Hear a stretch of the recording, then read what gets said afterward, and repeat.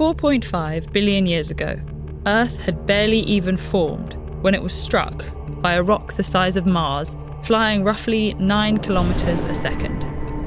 The force of this collision partially vaporized both celestial bodies, temporarily turning the Earth's surface into an ocean of molten magma. Today, some scientists call this cosmic crash the Big Whack, and while our planet has long since cooled off, we're still dealing with the impacts of this impact.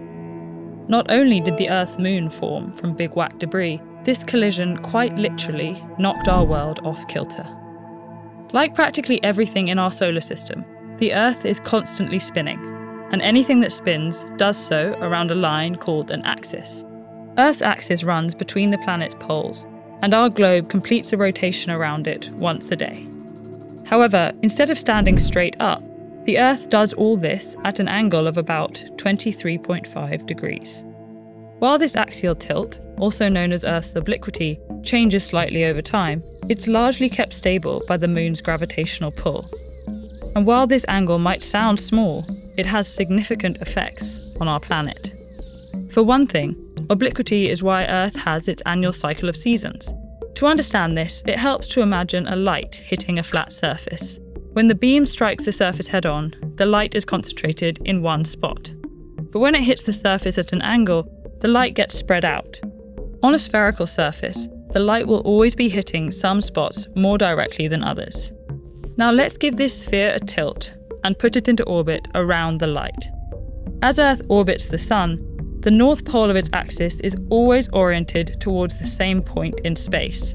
So during part of the year, the northern hemisphere angles towards the sun, and light strikes it more directly. People living in this region experience this as summer. Half a year later, the northern hemisphere angles away, bringing the long shadows and colder temperatures of winter. Given the pivotal role obliquity plays in our seasons, it should be no surprise that changes to this tilt would impact Earth's climate. And scientists have determined that our tilt does change slightly over time, creating long term climate cycles. Every 41,000 years or so, the Earth's axial tilt wobbles between 24.5 and 22.1 degrees. And this tiny shift has huge consequences. Higher axial tilt makes seasons more extreme and the climate less variable with latitude whereas lower tilt brings milder seasons and more extreme variations in climate. So, as the Earth's tilt decreases, polar summers become milder, allowing ice to build up until it eventually triggers a glacial period.